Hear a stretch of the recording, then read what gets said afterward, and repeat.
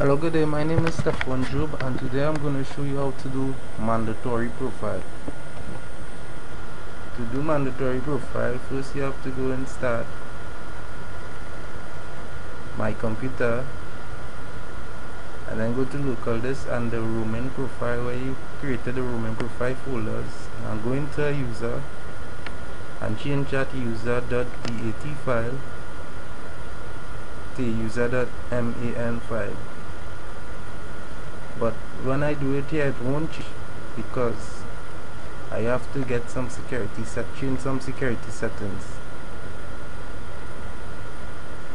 So to change the settings you right click go to properties security click continue and go to arsenal administrators then go to advanced options.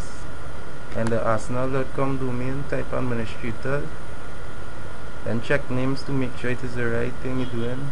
Double click. And go on administrator click ok. And then give administrator and the arsenal domain full control to allow it to do all the things to that that item. Now you can change it. Right click.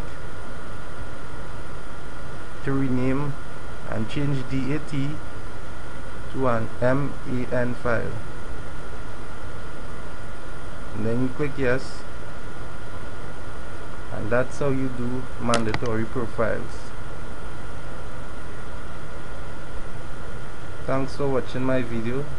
I hope you learned something